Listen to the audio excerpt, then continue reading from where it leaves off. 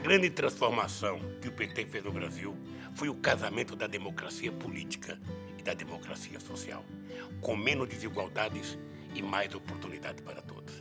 Agora que vamos ter eleições em todas as cidades brasileiras, é hora de confirmar e renovar esse compromisso, elegendo candidatos do PT em todo o Brasil.